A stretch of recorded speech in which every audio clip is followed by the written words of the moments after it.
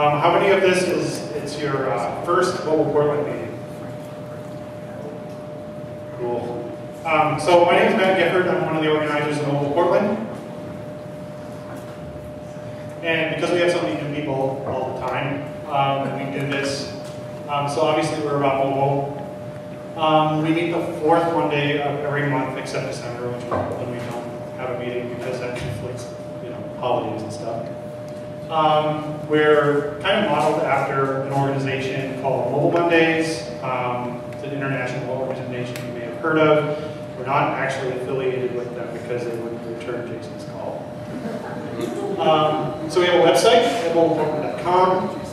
We have a Google group. Um, you can figure out how to get there. Um, we have also a mailing list that you can sign up for at the site that is just announcements about the meetings. Two free emails a month. Um, so not a whole lot of stuff. The Google group, on the other hand, um, is people, you know, with job offers or looking for help for stuff or whatever. Uh, we have a Twitter account at Mobile Portland. It's kind of mostly just announcements. And um, actually, I just to see if anybody's interested, I created uh, hash Mobile Portland on Freenode for any of you geeks who use IRC. Um, so if you use that, um, I've actually been hanging out there for a while um, to see if anybody would show up, and uh, nobody has yet.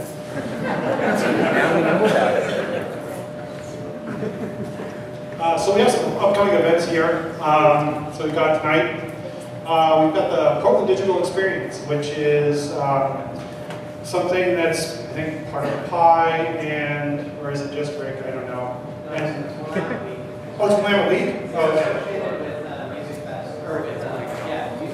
Music Fest, okay. Um, and then we have next month's mobile Portland meeting. And then um, there's actually mobile, uh, some mobile stuff at this uh, Oregon Bio 2012. Um, I recommend that you check that out if you're interested in mobile health stuff, because um, they have some stuff that you might be interested in. Here's a few uh, user groups in the area um, that are kind of related to what we talk about here. If there's anything, if you have a group that you are a part of or run, let me know um, so that we can add it to this list. Um, Kaiku is the first Wednesday of the month, Android Enthusiasts, second Monday, and Cocoa Heads and the JavaScript admirers are both on the fourth Wednesday, so you have to make a choice. And so uh, come around and if you have any announcements about job openings or projects that you need help on or, I don't know, any other talks that you know of that somebody here might be interested in, just raise your hand, I'll come around and uh, just be patient because it's really crowded today. Hi Portland, I'm Rob. I'm the CEO founder of a company in San Francisco and we flew up here specifically to come to Mobile Portland because it's simply too damn tough to find iOS Objective-C developers in San Francisco. I have a flight. My friend John here is one of my team members. Can everybody say hi to John? Hi, John! I just ask, does anybody have kids in this room? I have a 10-year-old daughter, her name is Cameron, and for 10 years I've forgotten to get a gift or even a card or even a shout-out thank you to her nephew, to her cousins. I'm building a social wish list for kids' gifts. It's an entertainment, education, and empathy-oriented app. Kids earn wishes. They come on, they create a wish list, and parents, grown-ups, uncles, aunts, grandmas get birthday and holiday reminders so you can buy at Starbucks while you're waiting in line. You can get those gifts for your nieces and nephews. Uh, I'm going to leave a bunch of cards. We have to actually head off to the airport, but I'm going to leave a bunch of cards. If anybody wants a card before I head off, just raise your hand and I'll go ahead and hand you one. Oh, G-I-F-T-R, rob at giftr.com. I bought the domain.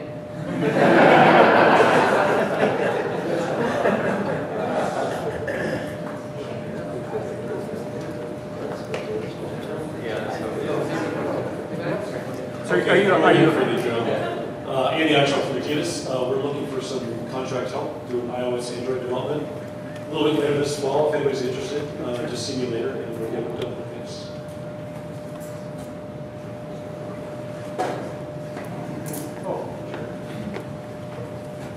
Katie Olin from Vesta Corporation, not Vesta Swimming Guys, but Vesta Payment Consulting. Um, we are actually looking for a UI designer, so please come see me afterwards if you have anyone who is interested in assisting us with some uh, mobile application.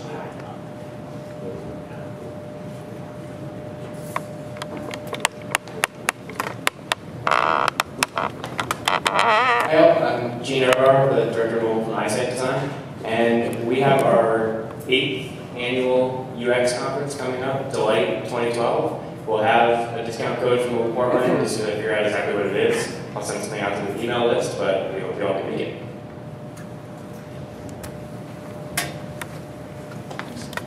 Hi, my name is JD Mooney of Upstart Labs here in Portland, and we're a tech incubator uh, looking for new opportunities in mobile projects, iOS, Android, what have you. We help with uh, architecture, development, design, uh, and we're currently hiring iOS and Android developers. So, if anyone's interested, upstartlabs.com. Thanks.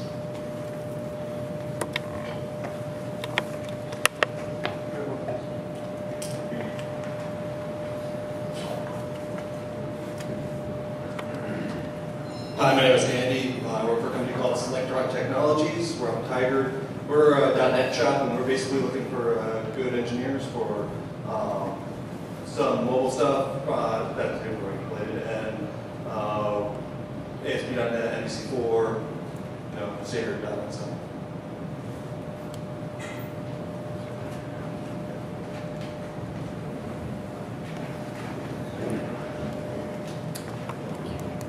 Uh, Good evening, my name is Venki Ramakrishnan. I'm with a company called Sigma Consulting, it's an IT services and staffing company. We have a need for an iOS Android developer for my client in Portland. It's an on-site project, we are really interested. Please try it. Thanks.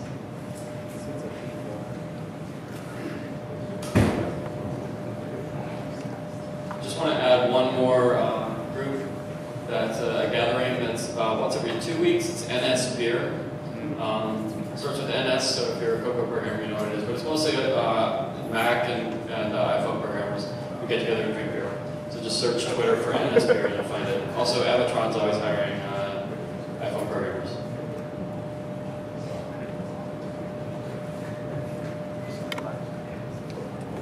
Okay, that's it. Okay, so thanks to our sponsors, Urban Airship. Is anybody here from Urban Airship that wants to say anything? No, I think they probably still have a whole bunch of job openings. So if you're looking for work, um, take a look. And Cloud Forward, in case someone wants to say something.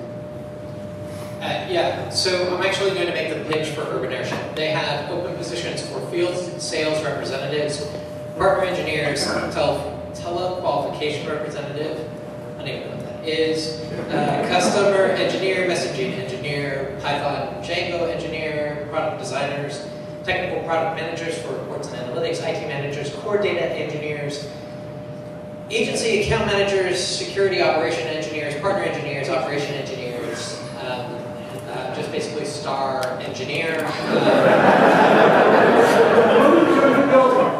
Uh, they, they, they are not moving to a new building, despite what you may have heard. Uh, they, they, um, they have a lease here for a while longer, but they are expanding quite a bit. Uh, the second thing that I wanted to say, uh, I'm going to say for a second because I just saw somebody walk up who I'm going to put on the spot. Couldn't get away from me, Rick. Uh, and the third is um, that uh, I have been traveling quite a bit, and so the sort of auspices of Mobile Portland that are nonprofit related have been on the back burner. But I'm back and I'm really interested in sort of kick, starting that piece. So if people are interested in sponsoring meetings or things like that, please come talk to me. Um, and then Rick, I was just going to make a pitch, actually a little bit more about uh, Portland Digital Experience and sort of what it is and the history of it and stuff like that. Um, but if anyone could make that pitch, I think it's you. So now that you're here, yes, you if you showed up two minutes later, you would have avoided it. Hello, um, I'm Rick Turoczy. I run a blog here in town called Silicon Florist. Hi, Rick. Um, that covers the startups in town. Um, what Jason was describing is, uh, I'll a little bit of history. Um, Music Fest Northwest is an event that runs every year. Great, talented artists from, from all over the world come to play in the clubs here in Portland. And uh, that, what a lot of people don't know is that started about 12 years ago with the folks from South by Southwest. And uh, for whatever reason, they didn't continue with it. Willamette Week picked it up, and Willamette Week has been watching with uh, very keen interest what's been going on with South by Southwest in the year. So uh, what they've decided to do this year is do tech programming during the day, so tech and creative programming. And we're calling that the Portland Digital Experience. Um, any number of amazing speakers are going to be there. Mark Levitt, who my former boss from a couple times is going to be there speaking. Um, James Keller, who you all probably know from Small Society, now Walmart Labs, as well as companies like Spotify, Shazam, Flipboard, um, and uh, up until about a week ago, Tumblr, but uh, Andrew McLaughlin, who's now at BetaWorks. So a bunch of great people from out of town, a bunch of great people from in town. That will be held Thursday, Friday, and Saturday of next week. Thursday and Friday are panels. Saturday is a hack day with uh, Spotify, MapQuest, Twilio, Puppet, and a few other folks that's open to the public, even if you don't attend um, PDX. So we just wanted to let you guys know about that. Hopefully see you all at the hack day, and if you have the time and wherewithal, we would love to see you at PDX as well. Thank you very much. Thanks, Jason. So tonight is about responsive design. If you're a designer or developer, you've probably at least heard of this if you're in this room, um, if not actually tried to do it. Um, so Christian Reed from Athletepath, he's the lead front-end developer there. Um, they just had a big thing with uh, Hood to Coast. And here's, he's here to talk about why they went with responsive design and I think a little bit about how they actually did it. So here he is.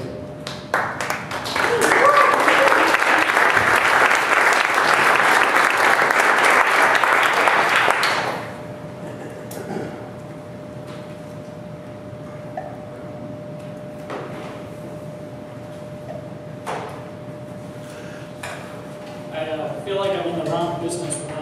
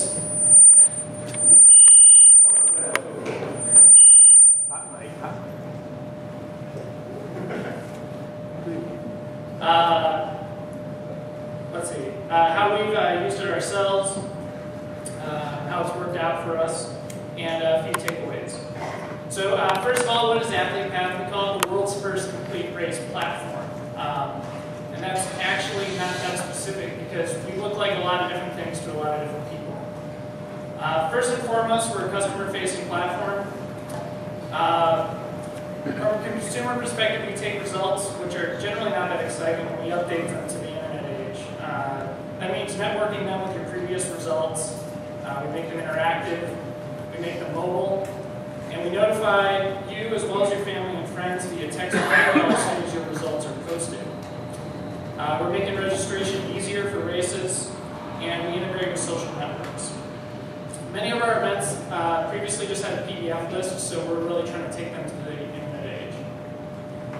Um, lot of people confuse us with being a timing company. Uh, timing companies, if you're not familiar with racing, are the people who are out on the course with the fancy timing equipment like big clocks and mats that read RFID chips off of people's shoes.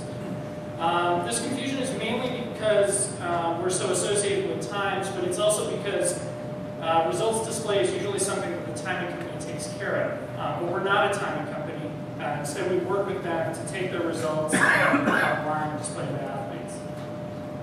So when you think about their business, working with us is actually kind of a good deal because the physical part of their job, the physical act of taking equipment out, setting it up, and operating something you're always going to need to pay somebody to do. But the display of the results is kind of an afterthought to that core business, and we take that off their hands.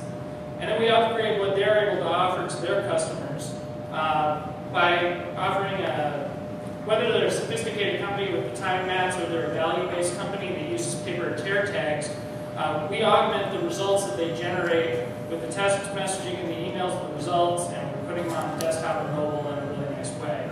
And th those are all things that are hard to do well, um, and, and, it's not something that they're good at, which is part of the reason why this industry is lagged for so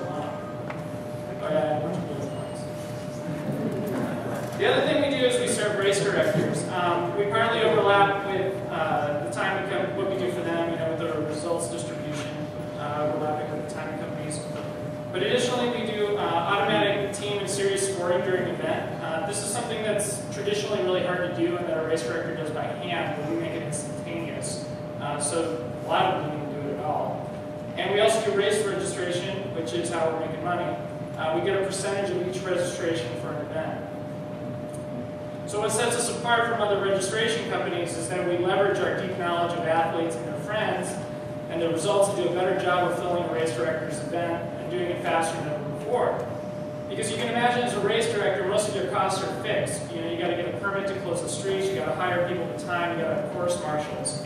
So each registrant past a certain point contributes directly to your bottom line. And additionally, you can imagine how nerve-wracking it would be to put on an event uh, that's a year away and have all your registration comes in, come in the last week. So part of what we're trying to do is get people to register sooner for an event so that the event director is focusing more on putting on a good event and less on whether the money is actually going to show up. So, so our business is fairly multifaceted. That's why we sometimes have a tough time explaining exactly what we are. So a little bit about our history. Um, the company is a brainchild of David Embry. Uh, went through several iterations before landing at PIE last September when we took over. Uh, the team consists of myself on front-end development, uh, Junichi Furukawa uh, does the back-end work in PHP, and then Nick James handles all of our data. Uh, additionally, we currently sit at eight people. We have uh, Bob Mahoney as CEO. We have the Uber intern, Eric Rorschach. Uh, we have a sales guy, Ryan Jasperson, and Whitney Dawson, who's now our. So the prior iteration of the site was just focused on that data display and the networking of past results. And that team had done a good job of taking the concept and fleshing it out. But coming in and taking a fresh look at the problem, we felt we had to make some changes in moving forward. Now, the, the project was fortunate in that the previous team included Chris Wellsmith, who uh, was formerly a release manager on the Symfony PHP framework, and so we decided to keep that in place. Um, but we had some long discussions about the structure of the data, and we decided we need to migrate from Mongo to MySQL. And finally, the front end was uh, formatted only to work on screens of about 1,000 pixels wide, uh, which was kind of a deal breaker for us. So, a little bit on my background um, and how we came to that decision. Uh, it's probably worth mentioning I'm an athlete myself. Uh, I ran in high school and college. And I compete about 30 to 40 times a year doing uh, cycling races now. And I got hooked up with Athletepath because I contacted David uh, with feedback about his site when they partnered with uh, the Oregon Bicycle Racing Association. Now, my background is in engineering as opposed to necessarily computers. Um, and while I studied mechanical engineering and then spent three years in the aerospace industry, um, Junichi was a childhood friend of mine and we moved to Portland about four years ago um, to work on our own projects as well as doing freelance work. And that timing is important because four years ago, it was right around when uh, mobile apps were becoming popular with iOS coming out and everything. And we could have gone that route, and, in retrospect, we probably should have because we've been right on the forefront, you know, making some money. But uh, instead, we went, you know, the traditional uh, web building route. And so by 2011, um, I don't know if you guys have heard this like 10,000 hour mark, where when you put in 10,000 hours of something, is when you start to really get good. And coincidentally, like four years into doing this, you know, 50 hours a week, I was starting to feel like I kind of understood it. And um, I was putting together the uh,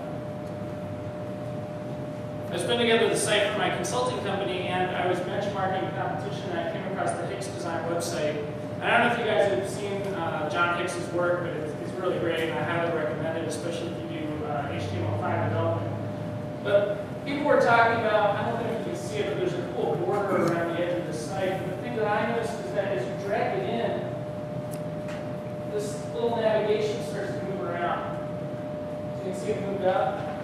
And then it jumps up there, which I just couldn't figure out how he did it. And I spent hours like trying to figure out what was going on. I did a bunch of Googling. Here, I'll play it again. I did a bunch of Googling and my project, which was supposed to take a couple weeks to put together the site, turned into like three months of digging for what it was. And I don't know if it had actually started being called responsive design yet, but there was a lot of people who were really excited about it. And you know, you can just see from what goes on the job site here, like this is this is amazing because it allows you to go from that really wide display and compress the data into a way that makes sense. So, so what exactly is responsive design? And at its basic, it allows a site to adapt from a very wide display to a very minimal display. And uh, you can see on the site that Junichi and I worked on called Concept Co-op. At its wide display, it's got this nice big image. As it goes smaller to a tablet, uh, it's compressing that design uh, and tailoring it to that narrower display. And then on a phone, it's actually illuminated the images altogether.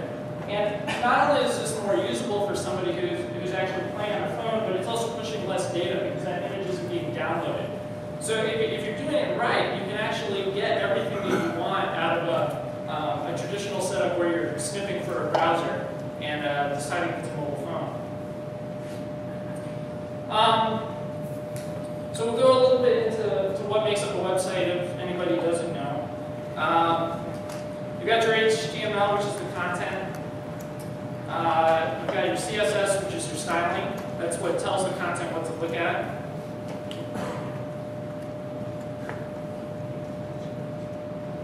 And then the final component is the JavaScript, which is the action code. Uh, that tells you how the data is to be manipulated when it's on the screen. So at its basic, you've got those three pieces uh, that, that comprise a website. And when you look at just that HTML, this is what it looks like. So before you put that styling piece into place, you've got this information here.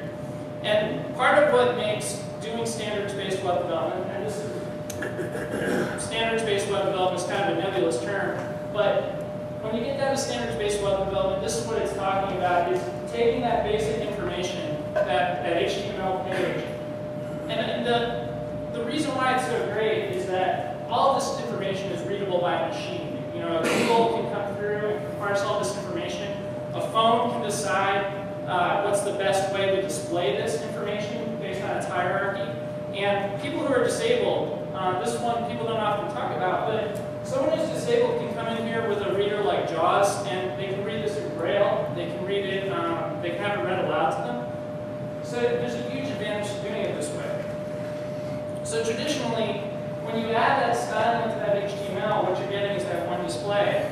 Well, what responsive design does is it says, if your screen looks like this, show it like this. If it looks like this, show it like this. If it looks like a phone, show it like that. Which brings us back to Athlete. Um, when it came time last fall to redesign the site, we knew uh, we are going to have to make it available on mobile. Uh, and it was going to be a big deal for us to do that because our whole business was based around people being out in the world at events where they wouldn't specifically have their computers, uh, but they'd have their phones. So it wasn't even a question that whatever we built was going to have to be accessible on a phone, but the real question was how.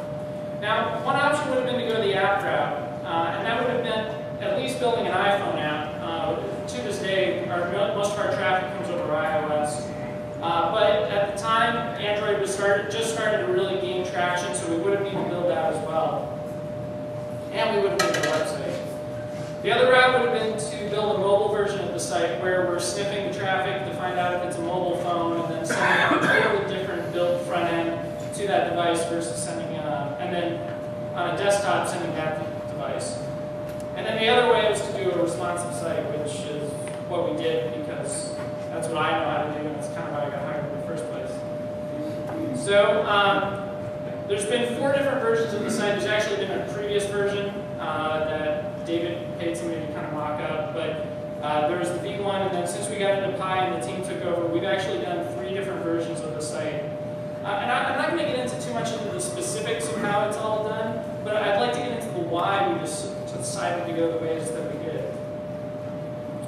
So in the first iteration, we didn't have a designer associated with the project, and since we were working on Wieden and Kennedy, we figured we'd eventually be able to cajole them into uh, helping us out uh, with design. And the other reason why we didn't want to have a designer at this point is we didn't know what the data needed to look like. Um, obviously, it's a list. You know, that's the obvious way to do it. It's the way people have always done it. But we weren't sure that that was eventually going to be the way that it went. Uh, we had a few insights from interviews, but not enough to say that we wanted to spend money on design at that point. So in the first iteration, we came with a very basic design. I, am not a designer. I just build the front ends. And I just did this myself. And you'll notice that there's no flourish involved with any of this. I, I actually picked this font specifically because as I was going through, I think it was fonts.com, it was the font that did the most for most design work for you. So I, I didn't actually have to Um, and so we just focused on trying to get that data in place. Uh, you know, what, what pages we're going to display, what bits of information, can we get all that information on the screen? And And we just had to beat the, the state of the art in, in the current iteration, which is PDF. So we figured we could at least do that much. And we did. By the end of the year, we were serving regional cycling races. Uh, people were really excited about that. And we actually beat our targets for development. And we're able to do a ticketing system for registering people for events uh, by the end. And we served, uh, began serving the Portland Triathlon, which will run this September. So you can see these pages, there's nothing particularly fancy. And unfortunately, we don't have a snapshot of what it looked like on mobile, but you can imagine this, this compresses pretty well. And we just did some basic things where we, you know, draw a line or something every 10 people. And then we also did the registration. Uh, the second iteration of the site came in the spring and it got a little bit fancier. Um, we took a cue from Twitter uh, their data is actually really similar to ours when we started to think about it. It's a, it's a list of things, and you might be interested in one of the things and want to expand that data. Um, so what we did is we did this kind of list panel thing that they were doing, uh, and we just kind of ate exactly what they were doing, which is a list, and then drawers would kind of slide out of it. Um, so, so we just added that extra uh, bit of information. On mobile, it would just go down to a single panel, and you would just move over to view the information. uh, but, but the problem was it was really dissatisfying. Like you just felt like you were getting cut off at every point. And so we knew that we needed to go back and, uh, and rebuild it again. And that's where in the spring we started on what's become the, the main version of the site you see today. Um, we finally had a feeling, we, we, although we were dissatisfied, we knew that this next version was going to be good. And so we finally called in our chip with Wieden and Kennedy to come and help us with the design. Uh, and they give us two amazing creative talents in Kristen Menard, who's been our uh, uh, head of design, and then she, she designed the logo and she helps us with the layouts. And then we also got Brad Simon, who's the illustrator for all the stuff that you see uh, that are starting to kind of make their way through the site. Uh, and it's probably worth mentioning that by doing the design for mobile and desktop in concert, we eliminated a lot of the cruft from our layouts. You'll hear these people talk about um, mobile first, and, and what they're talking about when they say mobile first is that when you focus on a really small display and you say, well, I've got to give the most important information, you start to eliminate things that aren't important. And necessarily for us, because we were now putting what was going to be on one panel on a phone on both sides, we can never have like all this extra crap that starts to work its way into sites, and so you keep yourself down a lot. And that's one of the main benefits you get from doing this type of design work.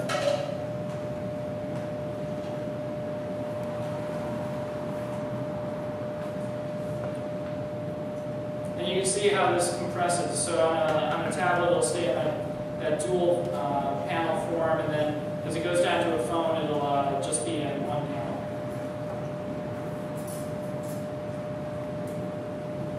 So you can see how it works in a little bit if you haven't been to our site.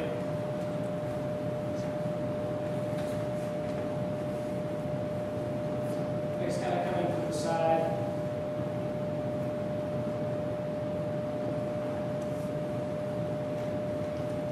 And as you click through, it'll shift the layout. So at this point, we're getting away from CSS and going into a lot more JavaScript to make this happen. But if somebody's not JavaScript enabled, we have it just moves back to showing just one of the panels, which will still navigate to the next panel. And then on mobile, it's the same panels, but they just move in one at a time.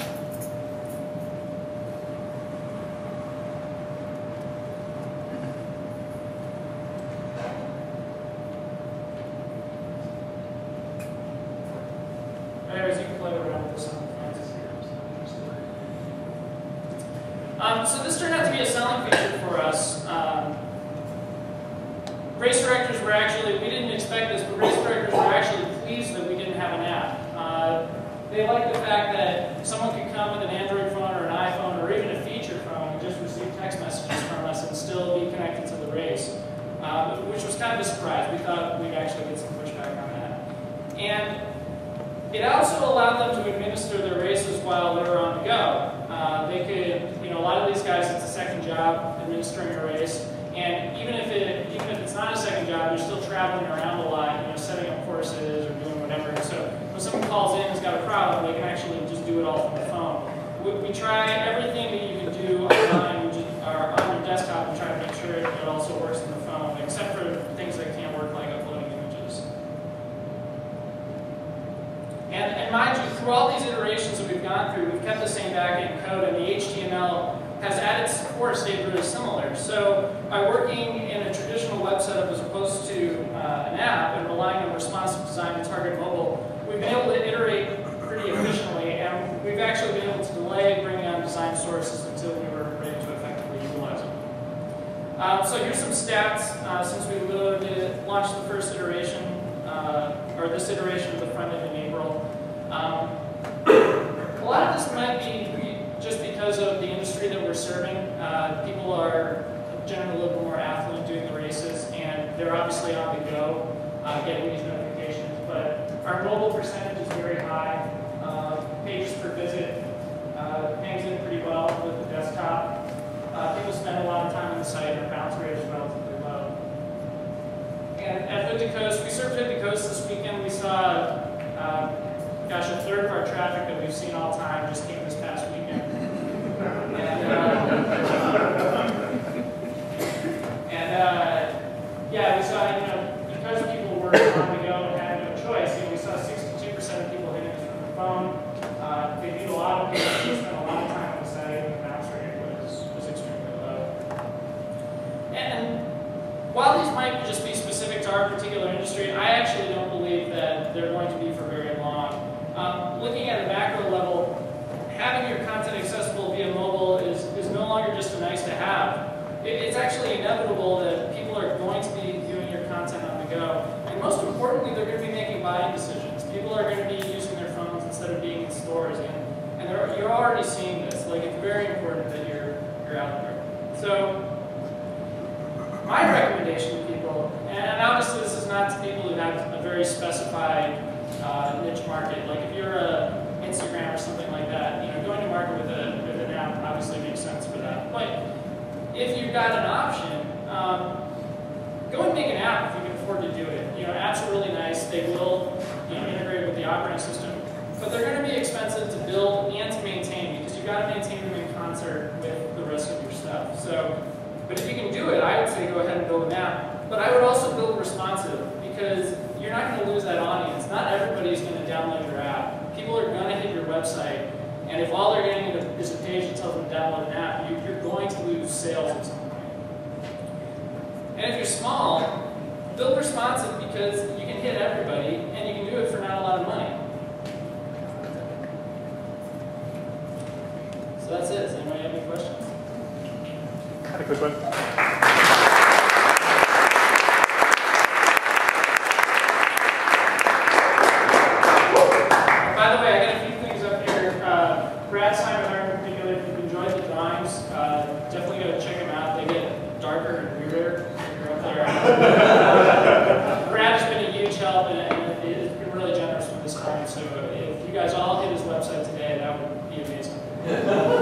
So I'm going to come around with mic. If you have questions, raise your hand and I will be there.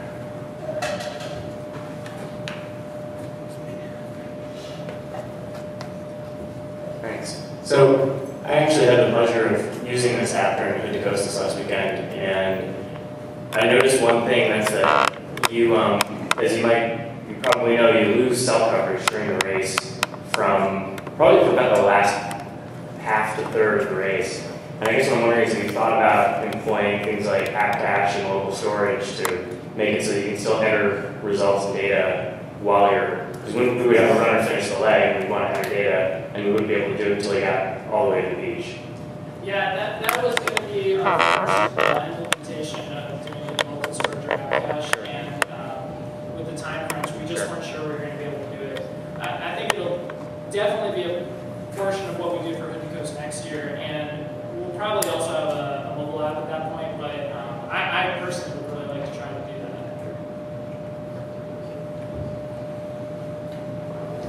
How are you handling uh, images, particularly retina images? Uh, with, I had to ask. Oh, we have to do a check, so you can actually, I don't want to get too technical, and that's what it's not No, you totally can't. technical. You can now. Oh, okay. Uh, you can actually do a check for uh, the pixel density of the screen, so you can check for um, whether it's over um, over one. Right. So you check for like 1.5, and, and if somebody has a you know a, a Retina display on like a type, uh, tablet or an iPhone or something like that, uh, you can send a higher resolution image. So checks actually all down the stack. Um, everybody gets the smallest image because we, we don't want to uh, we don't want to miss anybody who's on, a, on an old device. Uh, everybody gets that, but then down the stack you get the image that's appropriate for your device. And actually on the front page of our website there's a big um, graphic. If you go to athletepath.com slash welcome, uh, if you've got a big device, drag, drag it out to the edge and we actually push you a different uh, image if you have a really, really big display.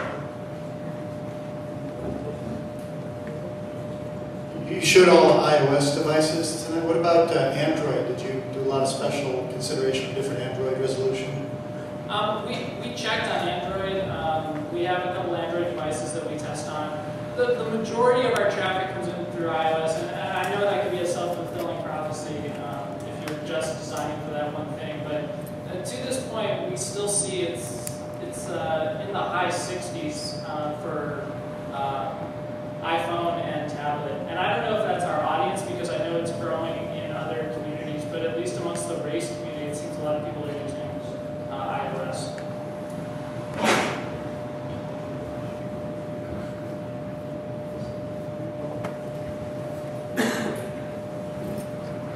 You want me to film you? You mentioned uh, HTML and CSS. Um, what are the technical aspects of those two specifications that help you with responsive design? I mean, responsive design is a concept, it's also a technical spe- not, not, not a specification, but um, what were the aspects of those two technologies that, that really helped you do that responsive design? Well, uh, HTML is basically just XML. Uh, so, I guess. yeah. Sorry, sorry. I guess I, I meant I was, I was assuming HTML5 and CSS3 and, and some of the newer. Oh, yeah, well, um, HTML5 is great because you've got an opportunity with the tags to make your information a lot more specific to the uh, devices looking at it. From a structural standpoint, you know, there's, I don't know, I guess it wasn't exactly your question, but what I was going to say was just, it's just XML. Like, you're just wrapping things in a certain way and in a way that's going to be convenient for the CSS to move it. So part of what you're going to want to do if you're getting into this type of development is being thinking about what it's going to look like when it's compressed and what it's going to look like when it's really wide, and then thinking really creatively about how you're going to wrap the XML in order to make that happen. Um, specifically to HTML5, I just think it's great because when you start to see uh, devices like, or people like Google or uh, uh, Safari even is, is going in and wrapping this content, or if it goes to a reader like uh, Readability or whatever, it, the content is hinted in such a way that they're going to display it in a nice way for people out there.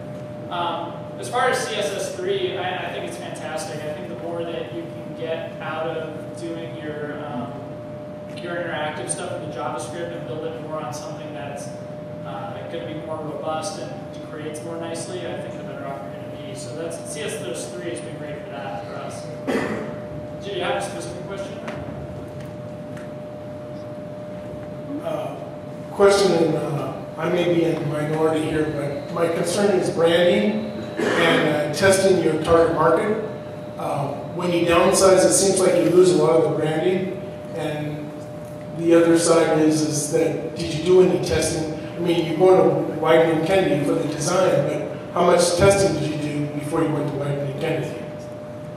Uh, a lot of our testing has come initially. Uh, we, we, did a lot of user studies at the beginning just to get what was important to people. And, and to be honest, I don't think we've done enough yet. Uh, there's going to be, we're actually kind of going back to the woodshed. We've been working so hard on Hood Coast that uh, we, we've kind of put a lot of that testing off. And through the fall, what we're going to try to be doing is refining everything that we've done up to this point and, and doing some of that testing that we should be doing. Uh, but to your point about branding, I, our feeling is that the user has always got to come first. Like, it's important to get your brand in front of people, but more than anything for us, it's people want to view the results and they want to get excited about the races they've done. They want their friends to see that kind of stuff. And it's our feeling if we're doing the, the right things to get that information in front of people, like they're going to know who we are. They're going to be on the site. So we're not as worried about that. I was just curious, it sounded like you guys made an or decision of let's do this versus that. But at the end, were you recommending that you actually would do both if you had the funds? And if yes, confirm that, would it be you guys, were you able to quantify, was it a time savings or cost savings and why you chose responsive initially? If that was your criteria? Well, so I got hired onto the project specifically because this is how I recommended that we do it. Um, we were only going to have so much money uh, as the company was getting going, so designing multiple uh, apps and, uh, was not going to be an option based on the amount of money that we raised to that point. So this was just a cheaper way to do it. I think long term we will definitely have apps. I've got a follow-up on the, uh, the offline uh, question here. So part of the responsive design that you were looking at, I think, was the size of the device that you're using. The other aspect would be the context in which you're using it. You know, hood to coast, a lot of connectivity is down. Uh, part of it could be solved with app cache, but part of it is a UX issue. I, I was in a situation where I was having to log multiple legs for the coast, and it was about a half dozen clicks to get from one guy to the next. So I, I sent in uh, feedback earlier today about vocabulary, but, but it raises another question. You, you guys said that intentionally you brought on design help later because you didn't know what you wanted uh, at first, or there was some question. What about the when you brought UX that at the same? Was that the same person, the designer and UX designer? Or did you have someone on UX earlier? Well, first of all, to anyone who did Hood to Coast and tried to input the time, I want to personally apologize. that was entirely my fault. Every problem that we saw with people inputting times during the event, uh, I could only think back to when I argued for those specific things in our uh, reviews, and I apologize to you guys. Going back to the guy who talked about user testing, we should have user tested all this stuff, and we would have if we had the time. And if we had, it would have been glaringly obvious that I was monumentally wrong. but uh, to your question about UX, we actually haven't uh, brought on a UX, a specific UX designer yet. And I think as we move forward, that's probably something that we'll be looking at. I'm just curious as to, uh, being new to responsive design, so I'm marketing. Um, did you just look at the desktop or laptop size and then a, a generic tablet size and then a cell phone size, or what about, did you take into account some of the other font-sized tablets and that sort of thing? If we look at our data, it, um, and I don't want to say don't design for these other tablets, but like the Kindle Fire in particular is one device that you hear about all the time, and we see no traffic from uh, we had a colleague of mine went to Google I/O, and he came back with that Nexus 7 tablet. Great device, we still see no traffic from those. Um, on the tablet front, uh, the, the iPad is just dominating. Um, so we do all of our breakpoints. Anybody who knows what I'm talking about, uh, we do breakpoints at different sizes of devices, and uh, our breakpoints are at 768 pixels. So for as it goes below the size of so we design to the narrow size of the iPad. Below that, we assume it's a phone, and in very rare instances, we'll look at the flip of the phone from wide to narrow and uh, make a change. But for the most part, uh, we just go below anything below 768. We design it as if it's a 480 uh, pixel wide uh, phone or a 320 wide pixel phone, and just try to make sure both of those work.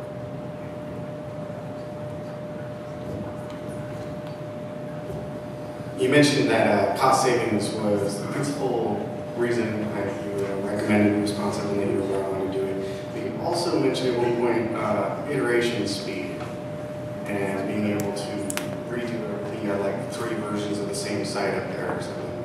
Um, have you considered the whole like new hybrid native slash web view app? And can Could you elaborate? The best known example is probably the new Facebook app for iOS, Oh, oh yeah, yeah. um, where the animations are mostly native and then everything else is web views shoved in. Yeah, uh, that might be the first way that we go to having a uh, uh, iOS app. We, we just haven't had a chance to look at it, but I, I have a feeling, just based on the way the site is architected, it might lend itself towards doing that. But it'd be a shame, because I think the thing that you really get from doing an app is all those native, you know, all that native uh, uh, C-sharp stuff that you're getting out of doing, you know, all the swipes and all the uploading photos and calling people from your address book. Like, that's what makes apps special. It's not just that it's living on the desktop and someone's got that button to click. Um, from our perspective, you know, it's like there's so many neat things that you'd be able to do once you went to the app. You know, and we're standing at Urban Airship, like for us, push notifications is going to be huge. We send a lot of text. And if we could offload a lot of them to be push notifications, not only would those be probably more palatable to our users and easier to navigate with, but they would become, uh, we would save a lot of money off it. So, um, yeah, we'll probably do that to start, but I would hope that eventually we'll go fully native on both, uh, both operating systems. So sort of along the same lines, did you feel limited by the amount of uh, gestures or touch interactions that you could offer? And did you find more solutions that you thought maybe you would have initially? Well, we, we specifically don't do any touch gestures right now. Um, swipes, I think, could be very compelling. I know there's, you know, JavaScript, uh, the jQuery UI, I think allows for that. We just haven't done it just because it's not, it's not as rock solid an interface um, on, uh, on doing a responsive design, so we just avoid it altogether. So everything is done with touches. We actually do a lot with uh, hover states actually change a lot for us when we go to the layout below 768 pixels. Um, just because when somebody touches something, that hover state is held for a while, and so interactions actually taking place start to become interesting. You, you're not really sure if they're happening or not. So, so to your to your question and going back to yours, like yeah, like going to a native app, you know, would be probably a lot better the responsive design in that respect. Can you maybe talk a little bit about the downside, of some of the pitfalls of using responsive?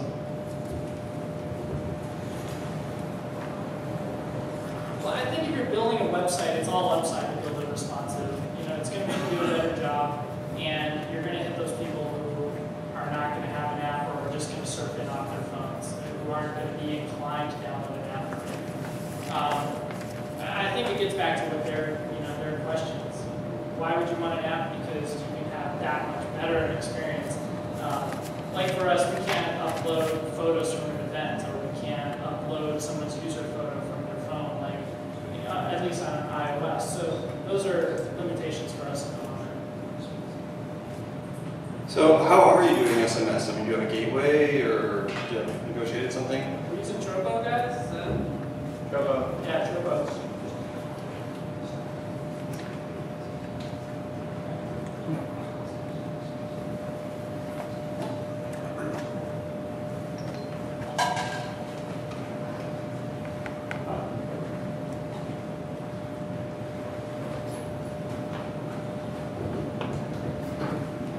it seems like one of the uh, big upsides to having a responsive site as opposed to an iOS app um, is the uh, ability to iterate.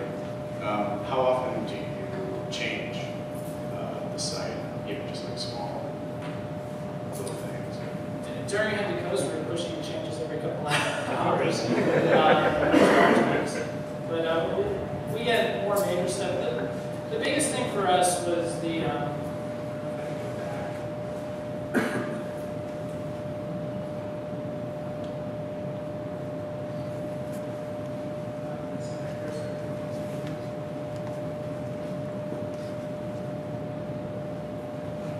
the biggest thing for us is the framework that brings the, uh, the panels back and forth.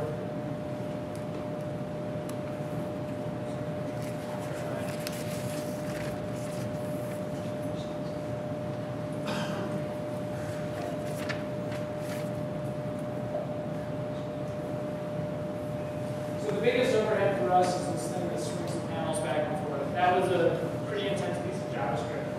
And it's, you know, to, to look at it, it's a scary thing to go back and change. But it was built specifically with flexibility in mind. In mind. So all of these panels that go back and forth, the CSS and the HTML is really easy to change within them. But that thing that goes and moves everything around, like, that's a big pain. Like, that's going to be at least a month of my time this fall is going and fixing some of the things that we've just found, like user modalities that don't work that way. So, uh, does that answer your question? Uh, yeah.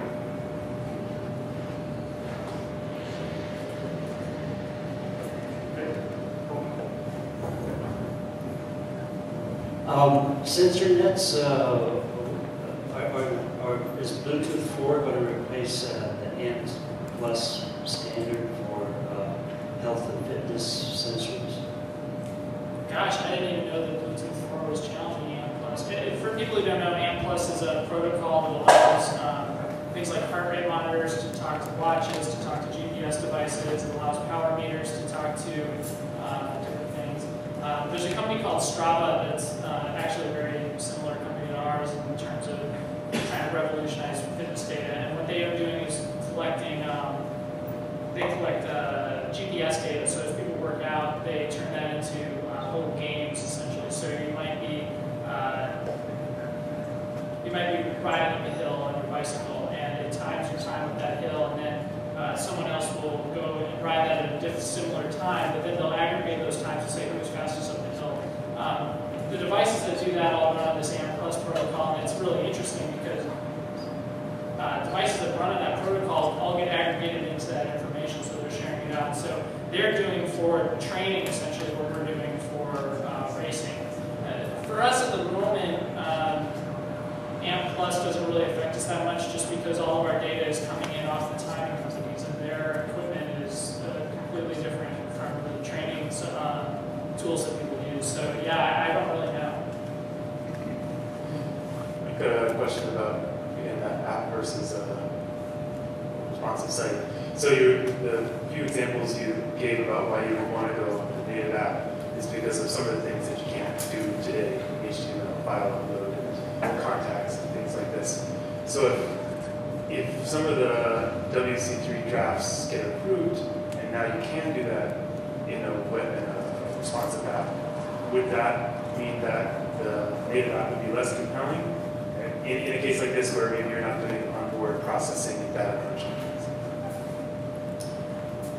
You know, well, so anybody who's in this space um, is certainly aware, uh, and maybe some people here may not be, but there's, there's people who argue for web standards uh, for a lot of the reasons I outlined, as far as uh, accessibility to the data uh, and, and its ability to be read by different devices versus building things native. And you can you can look at our site and you can you can you can objectively say from that, well, wouldn't it be better if everything was built this way? And there are people argue for that vociferously. There's realists in this building who say, well, this app ecosystem exists and it eliminates a lot of the problems of operating over the open web, uh, so we'll just build in it. And I, I think that, you know, you have to be realistic about where you are right now. You know, for us, I'm sure within a year's time it will still be compelling to, for us to have an app, and we will probably have an app. Uh, I think long term it's really interesting uh, if it stays on open web and web standards. Um, when you can design, instead of designing for just that iPhone and just that Android device, when Garmin comes out with a cycle computer and we're pushing specific pages to those devices over open standards, like that's phenomenal. Like there's there's really compelling reasons to do that. People always talk about the refrigerator that is going to have a, a display in it. It's going to tell you when to order the milk and stuff like that. When that can access the same pages, and we're not writing a separate application for the refrigerator when it just reads what we've already got. You know, our site will work on a Kindle, you know, like a black and white Kindle. So I think that stuff is really great, but I still, you know, there's obviously compelling reasons today. If those things happened, yeah, maybe we would skip, but it depends on how the marketplace moved. You know, I had two girls come up to me, we were out at the start line for the Portland Coast walking race, and they came up and said, why don't you have an app? We said, well, you're looking at the three guys who built it right here. There's a reason why we can't do it all. And they're like, you guys need an app, and they just walk away. I'm like, as long as that mentality exists, like I'm sure we'll eventually end up building an app.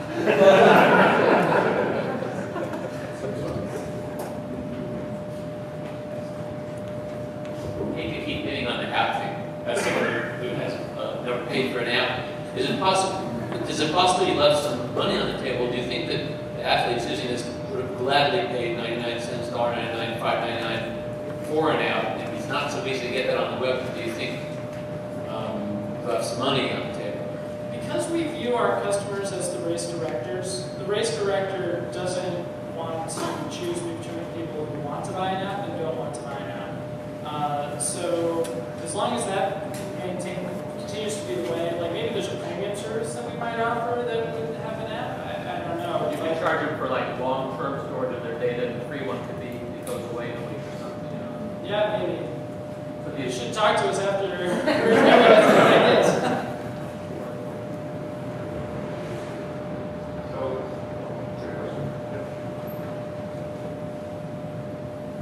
Uh, How do you uh, communicate to the racers that it's, is it a web address or a QR code kind of thing? Do you ever have uh, trouble saying, go here for the data as they're leaving the race, basically?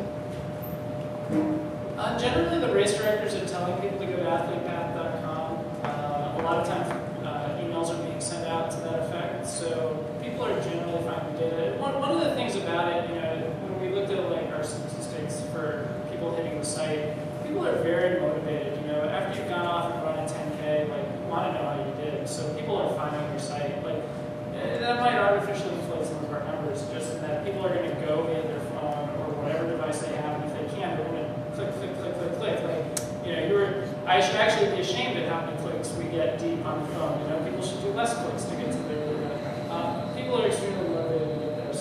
Far, it's not a problem. If we're at the place that people have to go for the information, they will go to find it. Last chance to ask a question. So I think that's it. Thank you, Christian.